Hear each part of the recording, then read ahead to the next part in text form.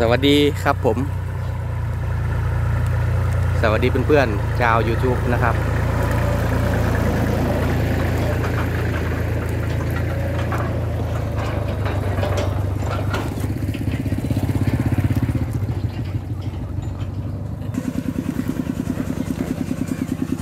ก็พาเพื่อนๆมาดูรถย่ำนานะครับเพื่อน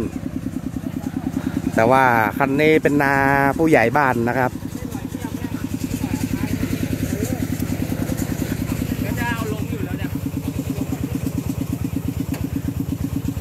รู้สึกว่าจะเพิ่งลงครั้งแรกนะครับเนี่ย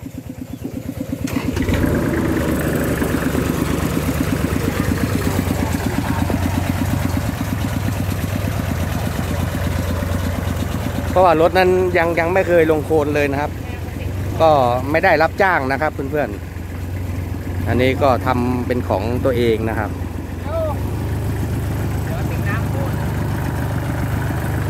มาดูวิธี น้องเขาจะเอารถลงหน่อย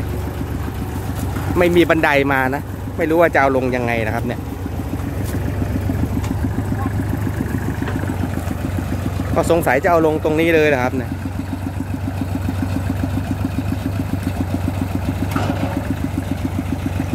เสียวคว่ำเหมือนกันนะครับเนี่ย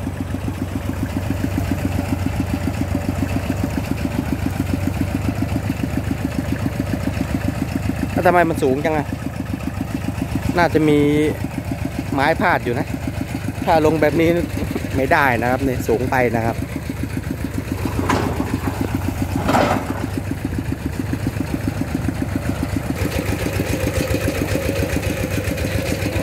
อ๋อยังดีนะครับที่มีคนช่วยนะครับผม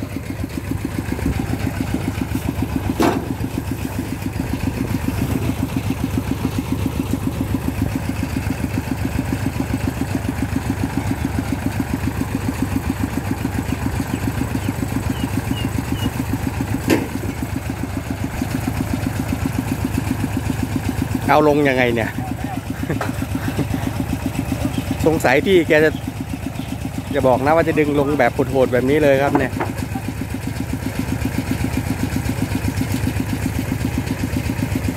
อ๋อน่าจะยกดำลงนะครับเพื่อนๆ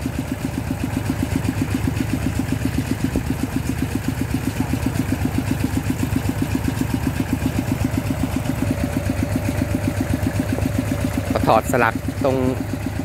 ตรงสาลี่นะครับ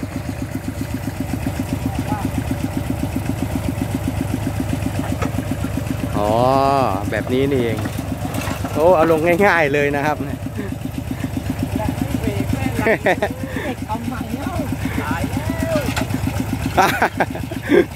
ยังว่าอยู่เอาลงยังไง ไม่ยากนะครับ เออดูน้ำบาดาลหน่อยครับเนี่ย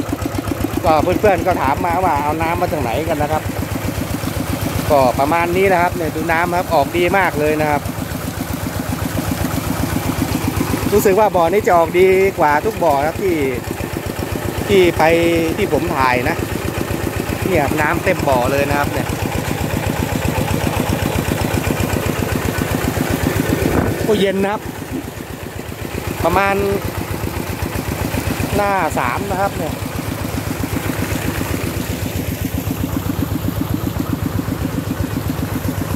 นี่ครับ ก็แปลงนี้ที่ผมเคยทำคลิป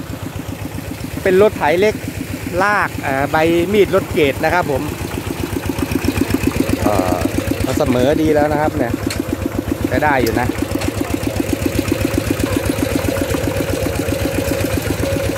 เป็นรถไม่ไม่แรงนะครับผม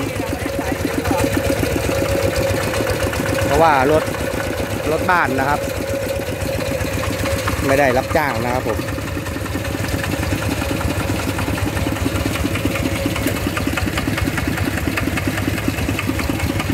เป็นโครงของ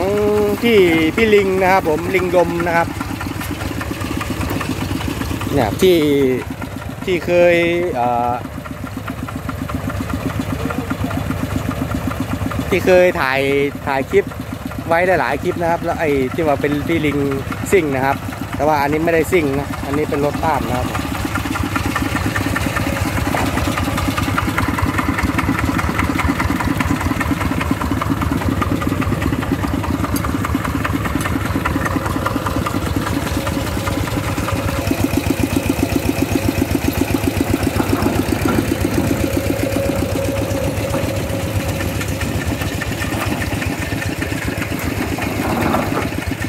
ตัวขุบอันนี้ดีนะครับเนี่ย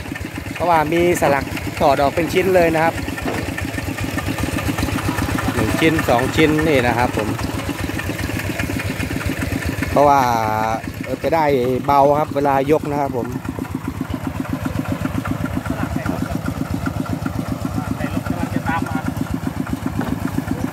รู้สึกว่าอันนี้ราคาจะประมาณแปดพันนะครับตัวนี้นะ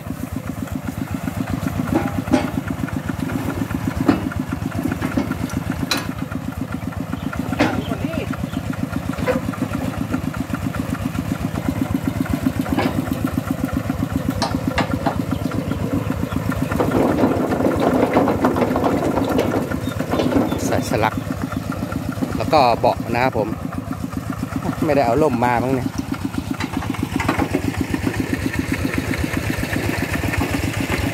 ไม่เอาล่มมา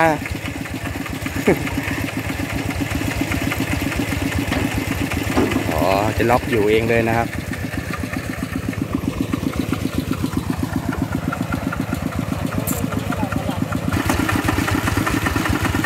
เติมน้ำมันแล้วนะครับ พอเครื่องนี่บิ้วมาใหม่เลยนะครับ เนี่ย เห็นน้องเขาว่าหมดไป9,000กว่าบาทเลยนะครับ9,000เลยนะอันนี้ก็ ผมไม่มีซึมเลยครับเนี่ยโอ้หมดไปตั้งเก้าพันเลยนะครับ ไม่ธรรมดานะครับในขนาดซ่อมนะครับ อันนี้ก็จะเป็นกันโคนนะครับเนี่ยรถไม่มีบังโคนนะครับก็กันโค นดีดดีดเข้าไปในกองอากาศนะครับ ผมให้หัวคิดได้ดีนะครับเนี่ยเดี๋ยวเอาแค่นี้ก็พอแต่ว่าถ้ารถไม่มีบางโคนแบบนี้ก็ต้องขับช้าๆนะครับ ถ้าขับไวนี่โคนกระเด็นเต็มหน้าเลยนะครับผม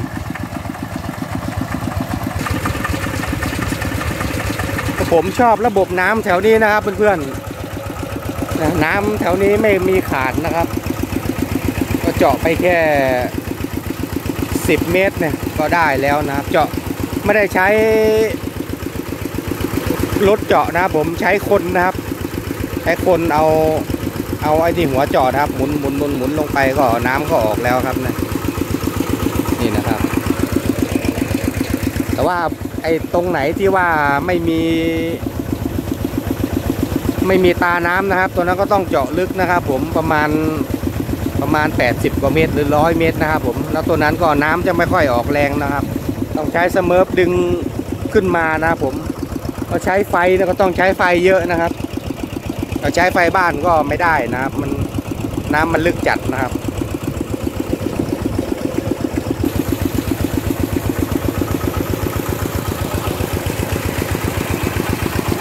ถ้าเพื่อนๆเห็นน้ำเต็มบ่อแบบนี้อย่าตกใจนะครับ เพราะว่าน้ำ น้ำตัวนี้มันไหลไปนะครับเนี่ยมันไหลเข้าไปในบ่อนะครับ ก็เลยเต็มนะครับเพราะว่าปกติถ้ามองลงไปก็เห็นอยู่ครับ ประมาณประมาณห้าหกเมตรเนี่ยครับ น้ำมันจะออกมาอยู่นะครับเพราะว่าที่มองไปเต็มบ่อเพราะว่าน้ำตัวนี้มันไหลไหลเข้าไปในบ่อครับเนี่ยโอเคนะครับผม เช็คความพร้อม โอ้รู้สึกว่าเบาะนั้นมันจะแอนไปนะครับ ก็เลยเสริมเบาะนะครับเนี่ย เสริมเบาะ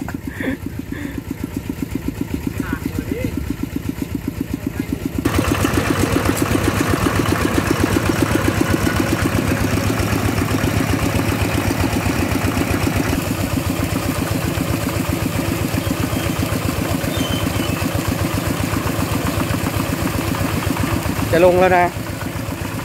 ไม่รู้ว่าจะลงตรงไหนนะครับเนี่ย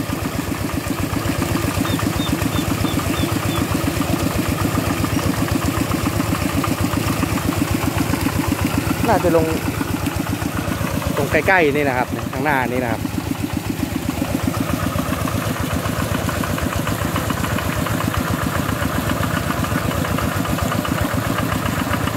ว่าไม่ไม่ค่อยคล่องเท่าไหร่นะครับ เพราะว่าไม่ไม่ได้รับจ้างนะครับผมนานๆได้ออกงานนะครับ เสียวเหมือนกันนะครับเนี่ย คอยู่นะลงได้อยู่นะลองเครื่องบิ้วใหม่หน่อยว่าจะแรงขนาดไหนครับเนี่ยกับเจ้าลิงลมนะครับ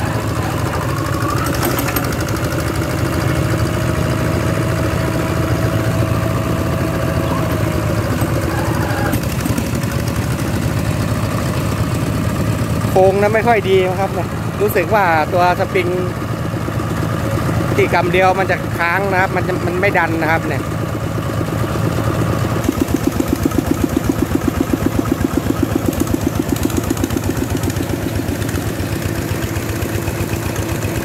ไปแล้วนะครับ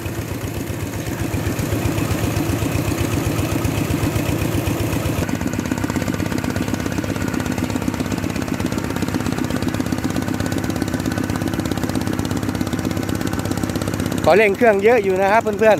ๆ แต่ว่า ไม่ค่อยไปนะครับ เพราะว่าตัวใบตัวเล็บของล้อนั้นมันไม่ใหญ่นะครับ เป็นรถเดิมจากโรงงานนะครับ เป็นรถเก่านะ ถ้าเป็นรถสมัยใหม่ ทุกวันนี้เล็บเนี่ยก็เขาจะทำมาแบบห้าห้านิ้วเลยนะครับแล้วก็วงล้อจะต้องใหญ่กว่านี้นะครับผมก็อันนี้ก็ใช้ได้ครับทำของตัวเองนะครับผมไม่ได้รับจ้างนะครับ